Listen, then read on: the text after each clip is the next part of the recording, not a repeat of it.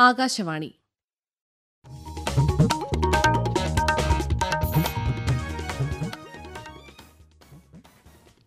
നമസ്കാരം.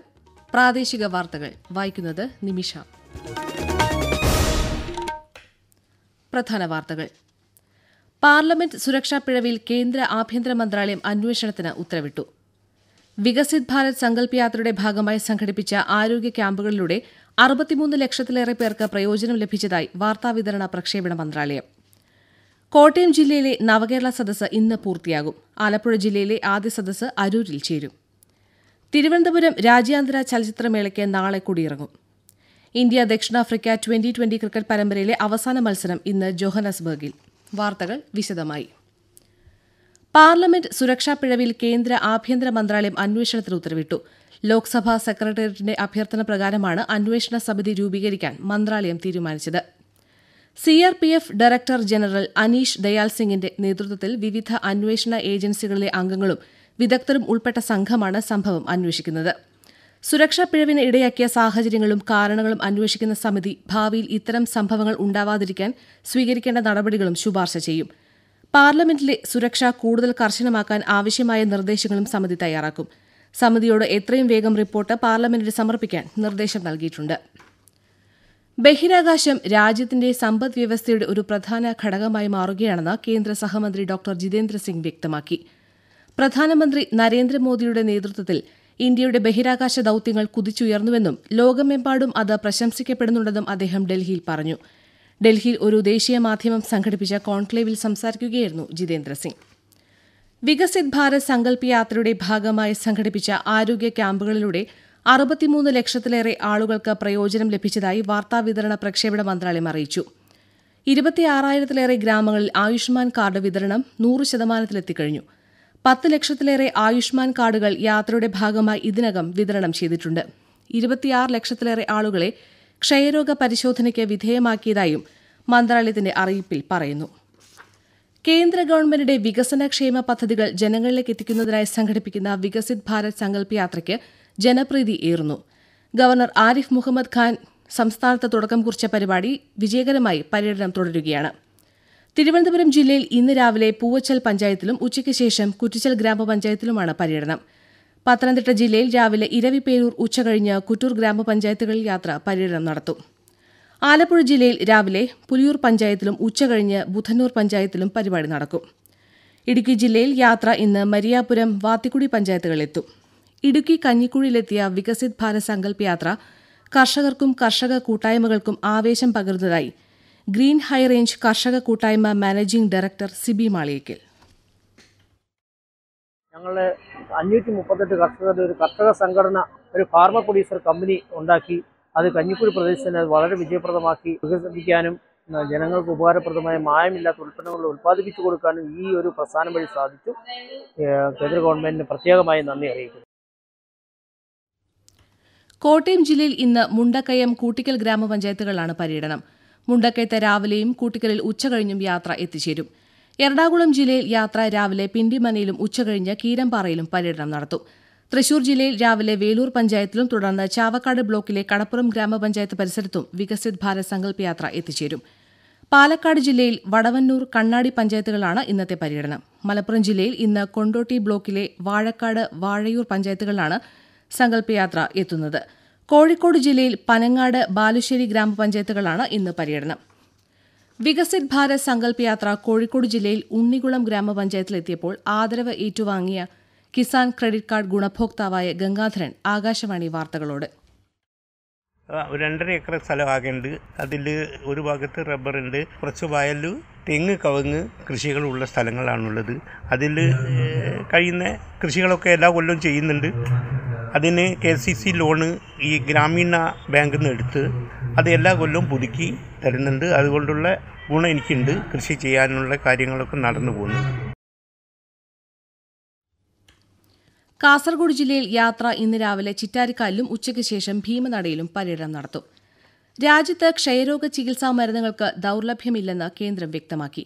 എല്ലാ സംസ്ഥാനങ്ങൾക്കും കേന്ദ്രഭരണ പ്രദേശങ്ങൾക്കും ദേശീയ ക്ഷയരോഗ നിർമ്മാർജന പരിപാടിയിൽ കൃത്യമായി ടി ബി ഔഷധങ്ങൾ നൽകി വരുന്നുണ്ടെന്ന് ആരോഗ്യ മന്ത്രാലയം അറിയിച്ചു. കോട്ടയം ജില്ലയിലെ നവകേരള സദസ്സ് ഇന്ന് പൂർത്തിയാവും.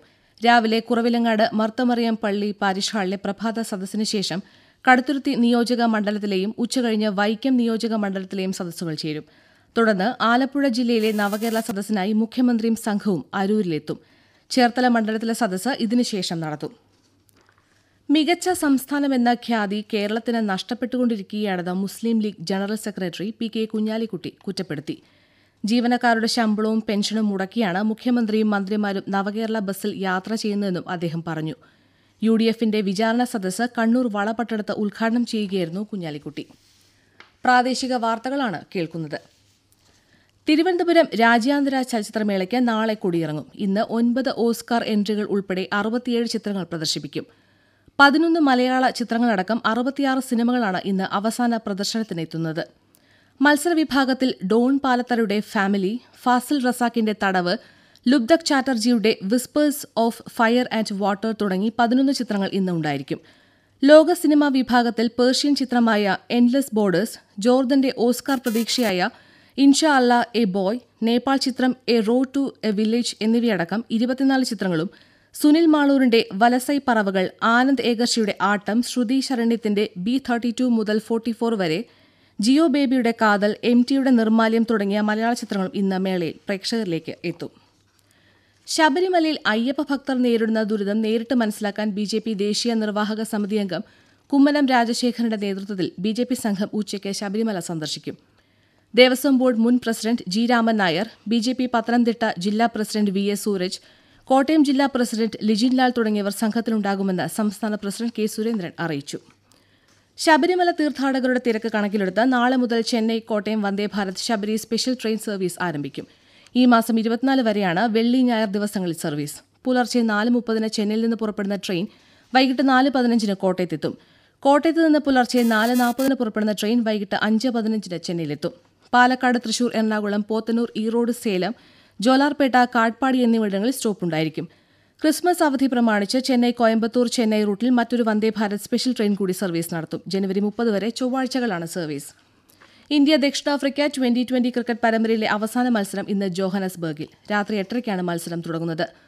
മൂന്ന് മത്സര പരമ്പിൽ ഒന്ന് ജയിച്ച ദക്ഷിണാഫ്രിക്കയാണ് മുന്നിൽ. മഴയെ തുടർന്ന് ഡർബനിലെ ആദ്യ മത്സരം ഉപേക്ഷിച്ചിരുന്നു. ഐ എസ് എൽ ഫുട്ബോളിൽ കേരള ബ്ലാസ്റ്റേഴ്സ് ഇന്ന് ഡൽഹിയിൽ പഞ്ചാബ് എഫ് സിയെ നേരിടും. രാത്രി എട്ടിനാണ് മത്സരം. പോയിന്റ് പട്ടികയിൽ കേരള ബ്ലാസ്റ്റേഴ്സ് പതിനേഴ് പോയിന്റുമായി രണ്ടാം സ്ഥാനത്താണ്. ഇന്നലെ ചെന്നൈയിൽ Chennaiyin F C Bengaluru F സിയെ മറുപടിയില്ലാത്ത രണ്ട് ഗോളിന് തോൽപ്പിച്ചു. ന്യൂഡൽഹിയിൽ ഖേലോ ഇന്ത്യ പാരാ ഗെയിംസിൽ ഇരുപത്തിയഞ്ച് സ്വർണമടക്കം അറുപത്തിയൊൻപത് മെഡലുകൾ നേടി ഹരിയാന മുന്നിട്ട് നിൽക്കുന്നു. ഇരുപത് സ്വർണം നേടിയ ഉത്തർപ്രദേശ് രണ്ടാം സ്ഥാനത്തും പതിനാല് സ്വർണം നേടിയ തമിഴ്നാട് മൂന്നാം സ്ഥാനത്തുമാണ്. കണ്ണൂർ സർവകലാശാല അത്ലറ്റിക് മീറ്റിലെ ആദ്യ ദിവസത്തെ മത്സരങ്ങൾ പൂർത്തിയായപ്പോൾ പുരുഷ വനിതാ വിഭാഗങ്ങളിൽ തലശ്ശേരി ഗവൺമെന്റ് ബ്രണൻ കോളേജ് മുന്നിട്ട് നിൽക്കുന്നു. പയ്യന്നൂർ കോളേജ് രണ്ടാം സ്ഥാനത്തും കണ്ണൂർ എസ് എൻ കോളേജ് മൂന്നാം സ്ഥാനത്തുമാണ്.